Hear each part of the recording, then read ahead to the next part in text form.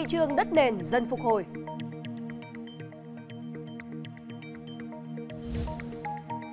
Nguồn cung căn hộ Hà Nội thấp nhất trong một thập kỷ.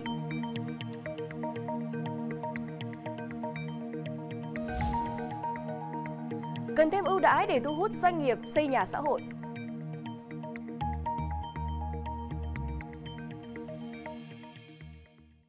Kính chào quý vị khán giả. Thưa quý vị, khi nền kinh tế vĩ mô dần ổn định, lãi suất cho vay thấp hơn mức trước dịch Covid-19, các dự án đầu tư công được thúc đẩy triển khai sẽ là yếu tố thúc đẩy thị trường đất nền ấm trở lại những tháng cuối năm. Sau giai đoạn khó khăn, thị trường bất động sản Việt Nam bắt đầu ghi nhận nhiều tín hiệu tích cực từ quý 3 năm 2023. Niềm tin của nhà đầu tư tăng dần. Tổng khối lượng giao dịch bất động sản trên thị trường tăng dần theo quý cho thấy bức tranh khả quan hơn về sự phục hồi của thị trường trong đó phân khúc đất nền có dấu hiệu vượt đáy ở loại hình đất đấu giá tại khu vực xung quanh Hà Nội. Cụ thể, mức giá quanh 2 đến 3 tỷ đồng đạt tỷ lệ hấp thụ 70 đến 80% với giá đấu cao hơn khoảng 5% với giá khởi điểm. Có thể chuyển nhượng ngay kèm tranh lệch từ 30 đến 50 triệu đồng một nền. Xu hướng này được thấy rõ nhất tại các tỉnh Bắc Giang và Hưng Yên. Mặc dù sức cầu chưa thực sự bùng nổ, nhưng việc người mua quay lại với đất nền đang được kỳ vọng sẽ giúp cho phân khúc này sớm phục hồi hơn dự báo.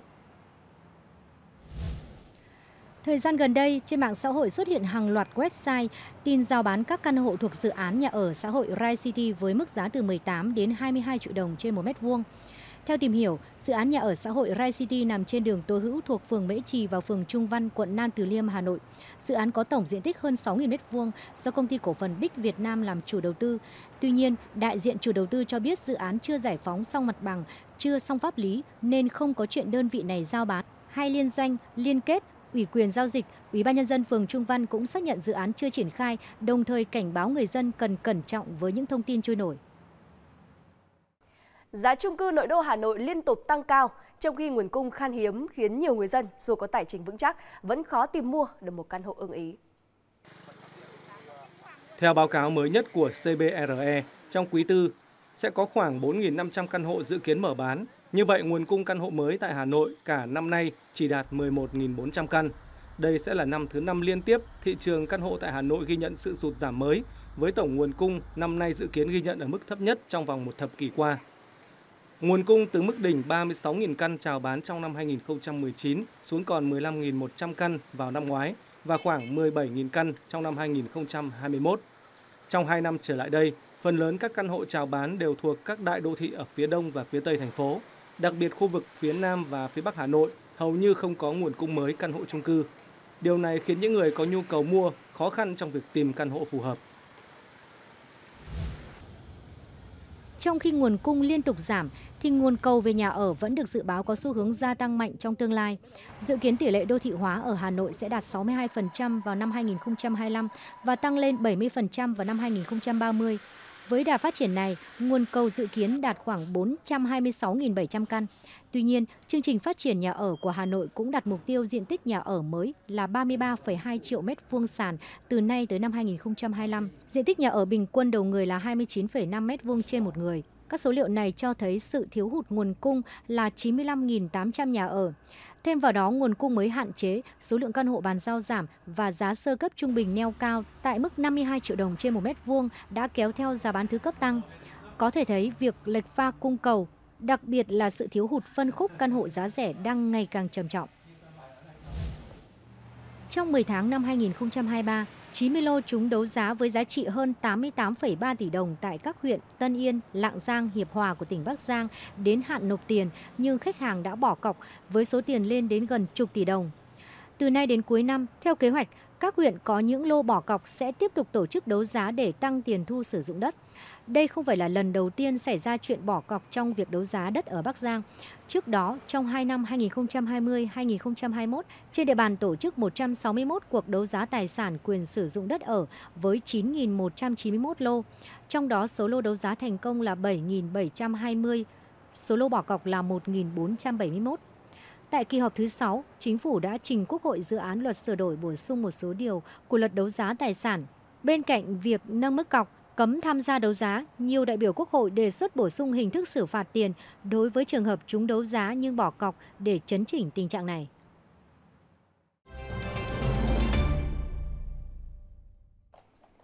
Thưa quý vị, với thực trạng giá nhà đất nóng lên và chưa có dấu hiệu hạ nhiệt, việc tăng thêm nguồn cung nhà giá rẻ được coi là giải pháp hữu hiệu nhất.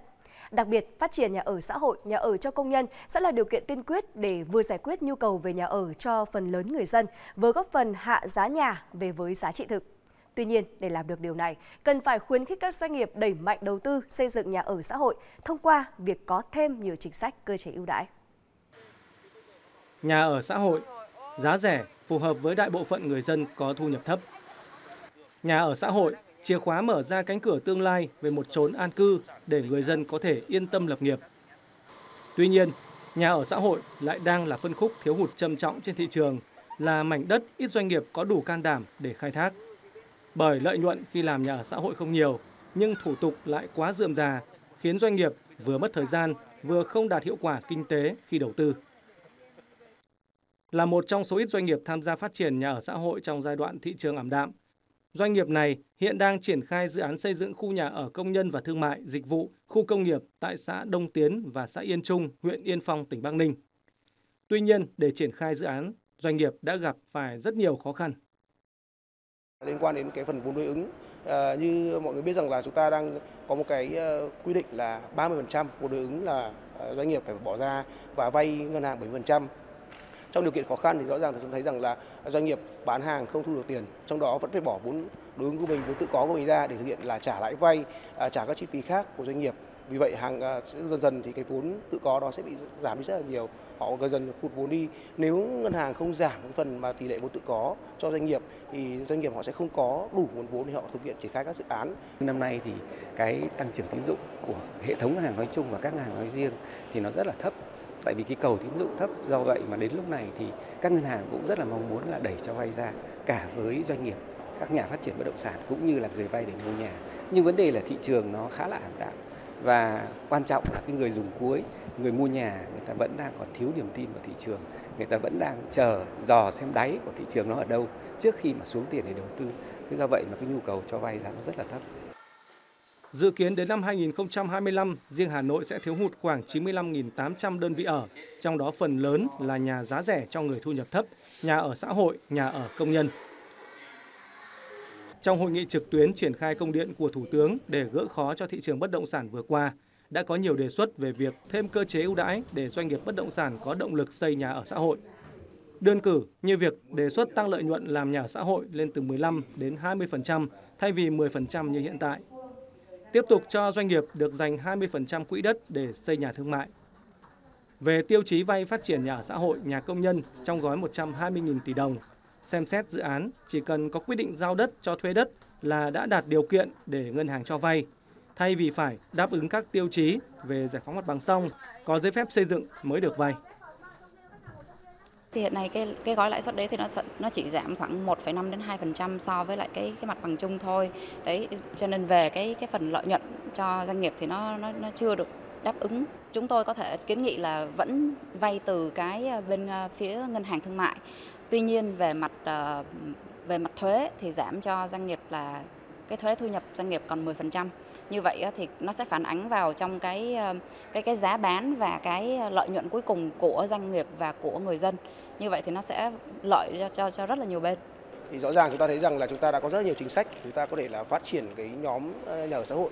À, tuy nhiên cái vướng mắc hiện tại đối với cả à, các đối tượng là người được mua nhà ở xã hội thì họ đang gặp vấn đề khó khăn trong quá trình liên quan đến vay à, nguồn vốn từ ngân hàng để thực hiện là mua nhà ở xã hội vì vậy tôi kiến nghị rằng là ngân hàng nhà nước và các ngân thương mại có những cái chính sách mở rộng hơn nữa và ưu đãi hơn nữa đối với cả người lao động để họ có đủ cái nguồn à, à tiền để họ thực hiện là mua cái nhà của mình. Được biết tại Hà Nội, nhu cầu nhà ở xã hội trong giai đoạn 2021-2023 là 6,8 triệu mét vuông sàn. Trong đề án xây 1 triệu căn nhà ở xã hội, Thủ tướng Chính phủ cũng giao chỉ tiêu cho thành phố phát triển 56.200 căn. Như vậy, để có thể thực hiện được mục tiêu này, cần phải có thêm nhiều giải pháp hơn nữa, tạo thuận lợi cho cả doanh nghiệp và người dân tiếp cận loại hình nhà ở xã hội.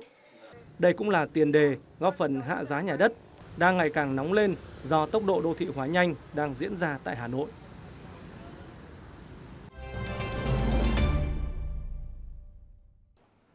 Trong quá trình tổng hợp những khó khăn vướng mắc khi triển khai các dự án nhà ở xã hội, Có thể thấy có rất nhiều những nguyên nhân xuất phát từ các vấn đề khác nhau.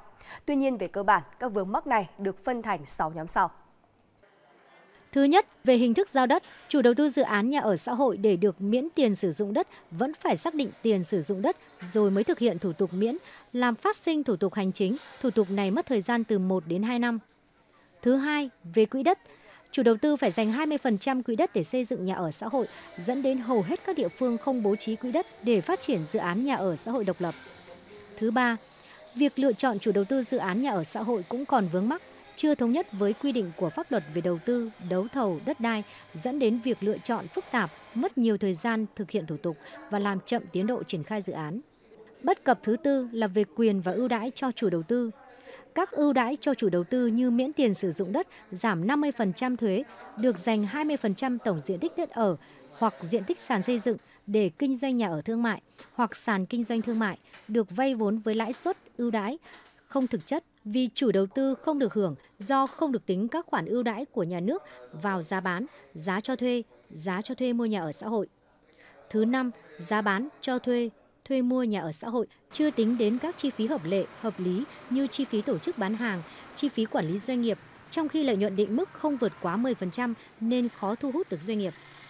Thứ sáu, đối tượng và điều kiện thụ hưởng chính sách nhà ở xã hội còn nhiều quy định phức tạp gây khó khăn trong việc xác nhận các điều kiện Đến đây thì thời lượng của chương trình hôm nay cũng đã hết. Cảm ơn quý vị khán giả đã quan tâm theo dõi. Xin kính chào và hẹn gặp lại quý vị.